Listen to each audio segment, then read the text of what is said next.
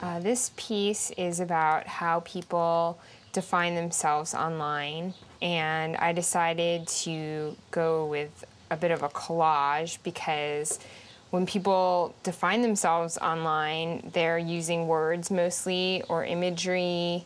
It's just a different way of communicating. There are so many social networking sites online, so I really just felt like I wanted to do something that was current and contemporary, and so I'm hoping that this piece achieves it.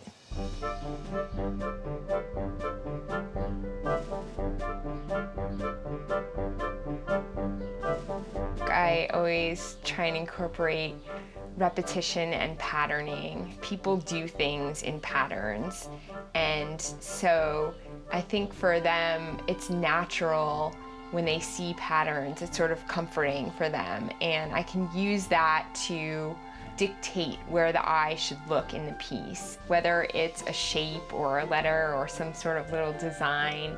I have fun doing it. I actually enjoy it.